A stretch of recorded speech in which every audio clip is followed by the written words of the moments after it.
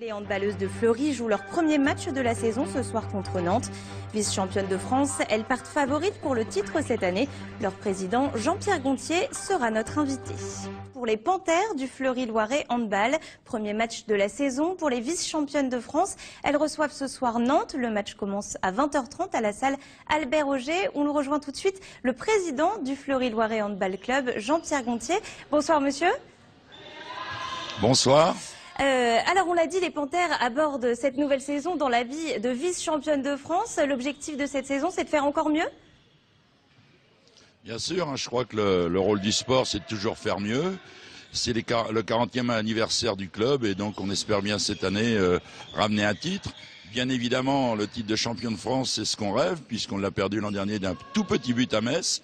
Mais il y a aussi la Coupe de France, la Coupe de la Ligue, et j'espère que cette saison sera euh, sera plein de bonheur. Oui, vous l'avez dit, vous aviez perdu euh, en finale face à Metz de peu. Aujourd'hui, les Lorraines sont favorites au même titre que vous. Est-ce que ça met la pression?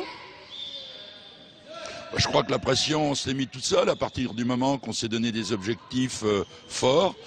Et donc, on a une pression positive pour essayer euh, d'atteindre le résultat que je viens de vous donner. c'est vrai qu'avec Metz, il me semble qu'on sera les deux équipes favorites encore cette année de ce championnat. Ce soir, c'est aussi euh, l'occasion de voir les nouvelles recrues en action. Alors, euh, cette année, vous avez vu les choses en grand avec quatre internationales qui ont rejoint le club. L'équipe est renforcée par rapport à l'année dernière. Vous êtes mieux armés?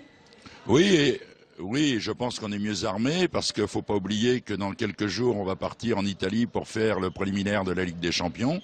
Il était donc nécessaire de se renforcer tant en qualité euh, qu'en quantité. Ce recrutement, en plus, ce recrutement, on a en plus eu euh, la chance de pouvoir le faire. Il était terminé fin février, début mars.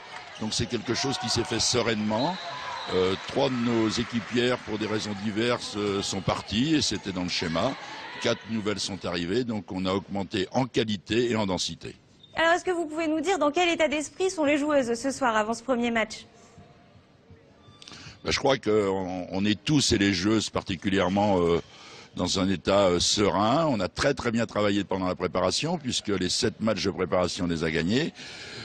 Le petit, que s'il pouvait y en avoir euh, ce soir, c'est qu'elle n'ait pas tout de suite la tête à la Ligue des Champions la semaine prochaine, puisque je rappelle qu'à partir de la semaine prochaine, on va faire en dix jours cinq matchs.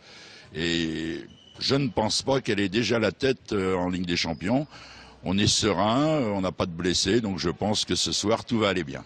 Merci beaucoup Jean-Pierre Gontier d'avoir répondu à nos questions et bon match ce soir, résultat dans nos éditions demain.